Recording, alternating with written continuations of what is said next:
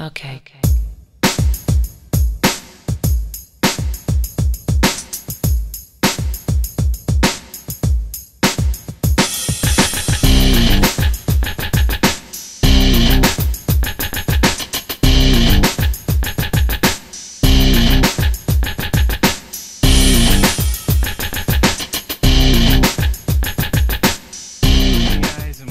To Tanashi's Movie Corner. And today we will be reviewing Dragon Ball Z Resurrection F, the sequel to Dragon Ball Z uh, Battle of Gods, which I have already done a review for. So if you haven't seen that, go check that out.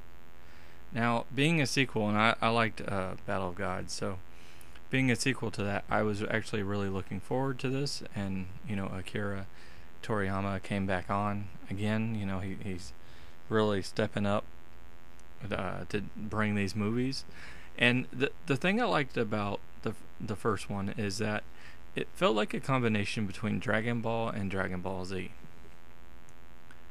This movie feels more like a Dragon Ball Z movie, and a lot of people might be like, "Well, that can't be a bad thing, right? That's a good thing." And it's not it's not terribly bad that it is. I'm just saying what I'm saying is it focuses more on the action. There's humor in it, but it does focus a lot more on the action of it.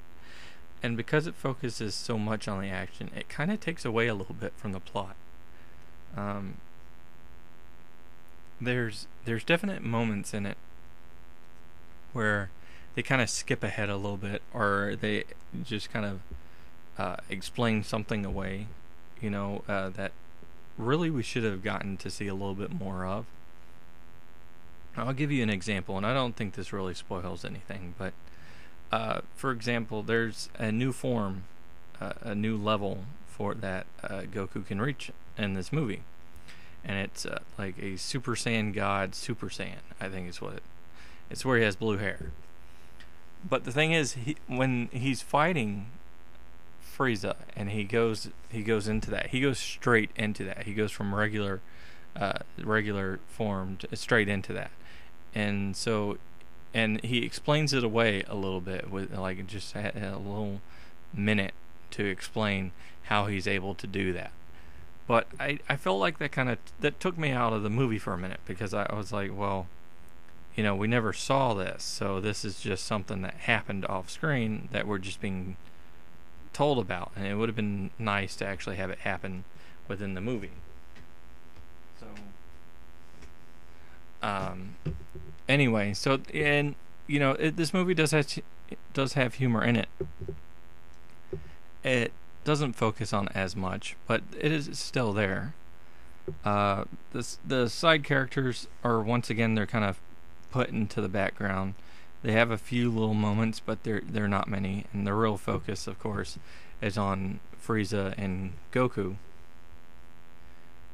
And I gotta say, this movie disappointed me a little bit because the way they set the movie up, the way that they they presented, you know, the the the concept of the story here, they didn't deliver on what what I thought I would get out of this movie. Now that's not to say I, I disliked this movie. I did like this movie.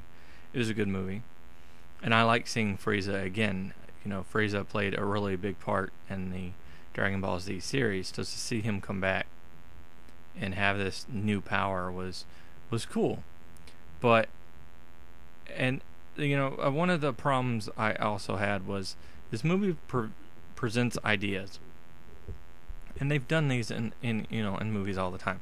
They present the idea of something being a possibility happening during the movie and it gets to a point in the movie where I think that they're actually going to uh, to go upon that idea that they kind of put in our head, and then they don't.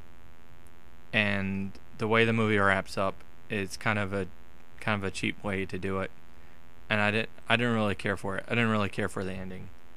So, you know, all that being said, I, again, action was good, animation was great. You know, it does continue the story, and I do like that.